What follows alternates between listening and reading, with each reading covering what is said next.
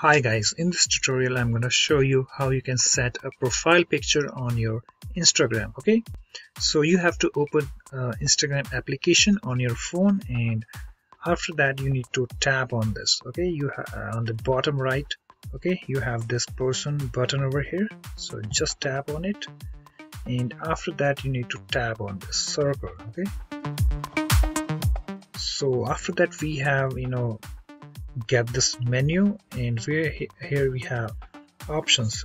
Like we can remove current photo take photo uh, choose from library and we can also import from Facebook and import from Twitter. So in this tutorial I'm gonna use uh, choose from library. So let me tap on that and here I can see my you know library pictures.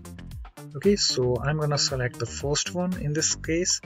So let me tap on this and after that you need to tap on this you know this check okay? Over here. As you can see your profile picture was changed okay? So this is really very simple. And suppose if you wanna you know again uh, change uh, the profile picture so just tap over here. And you get this you know menu again okay?